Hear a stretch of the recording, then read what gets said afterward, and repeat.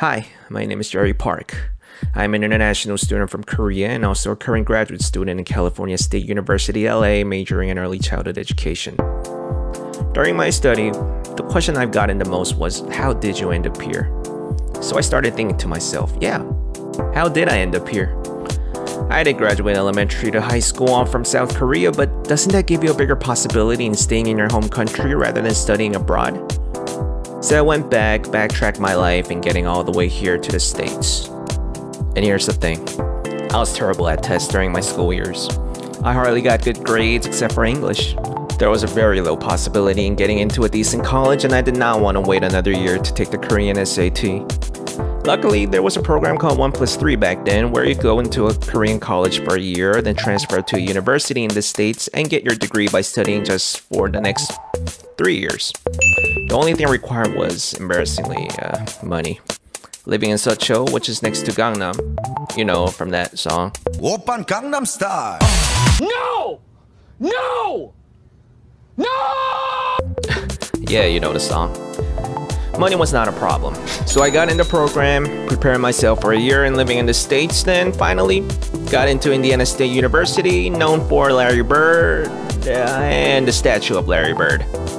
I majored in elementary education. Why education? Because no one wanted to. The people who came with me chose aviation or business because they were told education will be tough even though the school was known for its major. Not knowing what to do, education just seemed fun and challenging, so yeah, why not? I went with teaching. And uh, yeah, I thought everyone else were cowards, so sorry guys. So, how was it?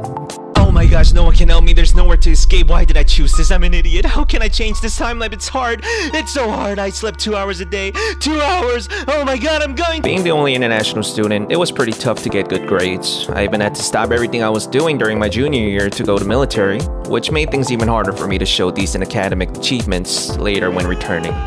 But hey, I did graduate. The reason I came to California State University is because ISU never had international students studying education during their 100 something years, so they didn't have much knowledge in how to support my visa. They recommended me going to either New York or California where they have more experience with people from other countries. I used to live in New Jersey, so I chose Cali. So here I am almost done with grad school. Uh, it's been about seven years since I've been a student in the States. Now, some might question me if I still want to become a teacher and make a better future for the world. uh, that's funny, because no. Being able to teach kids is a great privilege, and I would be very honored if anyone would want to hire me. But looking back, I realize teaching is fun, but it's something that doesn't suit me like the people I study with in the classroom. Not only are they very professional, but have these great ideas that seem to only make the kids become better.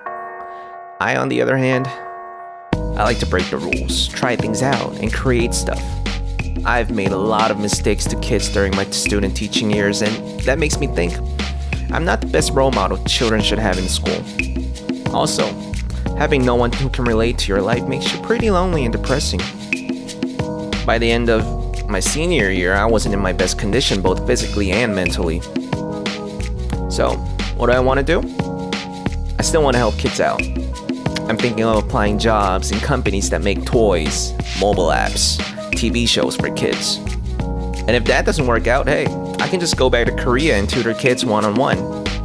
Apparently, there this is something I did with my cousin through Skype, and my aunt loved it, telling other mothers about me. Which, according to my aunt, they all want me to teach their children at whatever cost.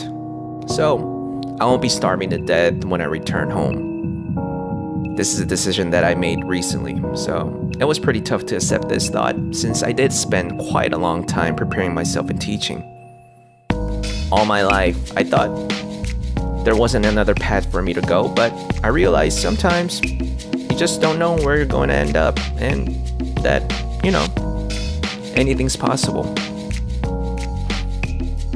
The end.